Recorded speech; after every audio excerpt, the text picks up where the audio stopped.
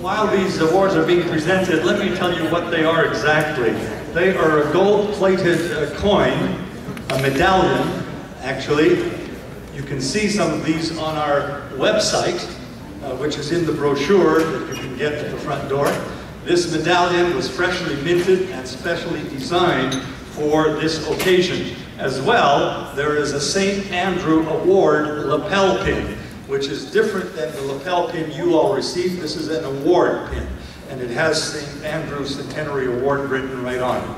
And these are some of our homologi Lyude across the Dominion of Canada who not only dedicated their time to be here this weekend, but are doing lots and lots of work to help, in some cases, institute a, a program or a UO's uh, YC youth program in the parishes across Canada. And more importantly for us tonight, they've all taken the time to come and be with us and share this great, joyous uh, occasion.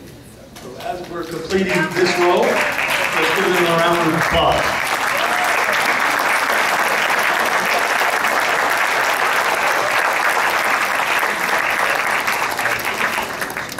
Just before we go, I want to specially thank and salute uh, a youth member as well, Dobronica Aaron Hogan, who designed our logo.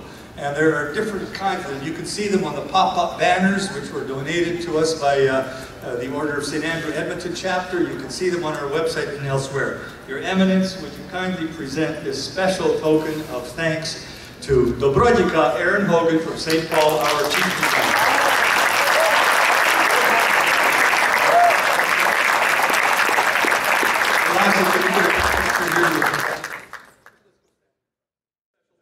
Is to uh, one of our Sumpilti members uh, from Winnipeg.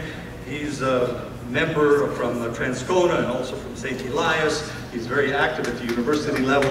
He starts students groups and that sort of thing. And he is called John Kiesman.